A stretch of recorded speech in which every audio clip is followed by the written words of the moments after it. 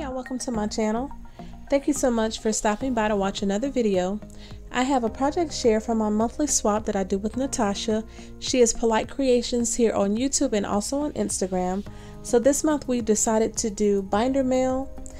I've already received hers and I've already posted my video and I'll leave a link to that video down below. So this is what I created for her. So this is the front of my binder and my binder is a 9 I think it's 9 by 11 this is one of the larger ones.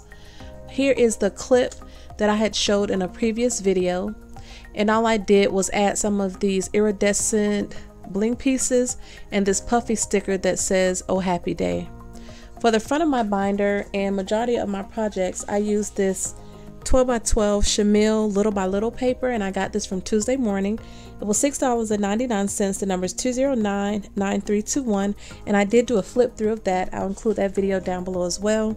So on the side of my binder, what I did was use some of this really thick flower trim that I got from AliExpress and then this thinner flower pink trim also from AliExpress. I put that on both sides of this thicker light pink one and then I did a strip of this flower trim right here in the front and I got that in a card kit that I got on sale from Spellbinders when they had that warehouse sale.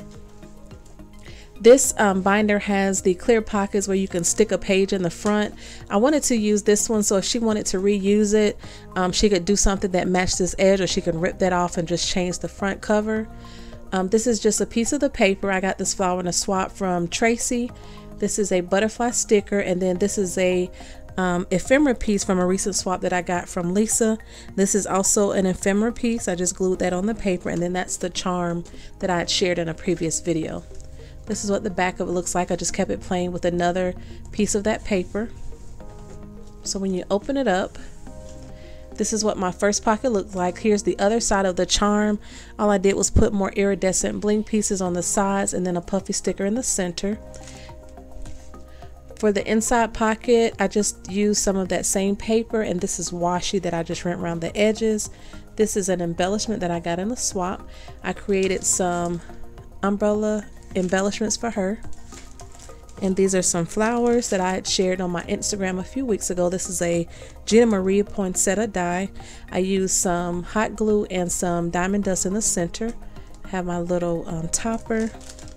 And then these are the banner embellishments that I created for the It's a Link Party Volume 4 and I'll leave a link to that video down below as well.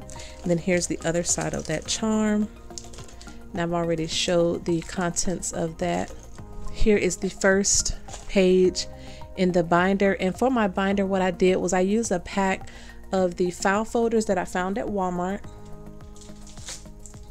They come in a pack like this. It was six file folders and I think they were about $2. All I did was fold the designs on the inside and then glue them down so I could have the solid pieces. And for this one, I did cover it in paper and then I went around the edges with washi. I used my three hole punch to get my holes centered.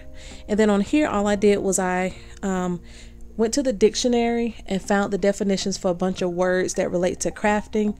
There's share, goody, craft, mail, happy, and then binder. And then these are some puffy stickers from a pack that I got um, from Tuesday morning. That one, it's the uh, Illustrated Faith. So this one and this one come from the Illustrated um, Faith pack and also this little heart down here. This is actually a wood piece. You can find those in the craft section at Walmart and also in Joann's. And then these are some gold pieces from a sticker pack, thicker pack that I also got from Tuesday morning. Um, these are the LOL Girl planner stickers. This girl in the chair, then the ASAP, and also this little flag here. The world needs the world needs your smile. And then this little piece down here that says, Girls can do it all, even while wearing high heels. I just thought those were really cute to just place all on the inside of this page. I really love how this page came out. And this is the page that I wanted for my first page. So for my second page, um, what I decided to do for each one of my pages, this is the first time I did binder mail. I wanted to create like little scenes and everything on here is removable that she can use. So these are the Lawn Fawn little mushroom houses. I did share those on my Instagram. And these are the little um, pieces that I had showed when I did my scan and cut video. And I just put those in bags and I use them whenever I need to use them. These are some recollection cloud stickers and then some butterfly stickers.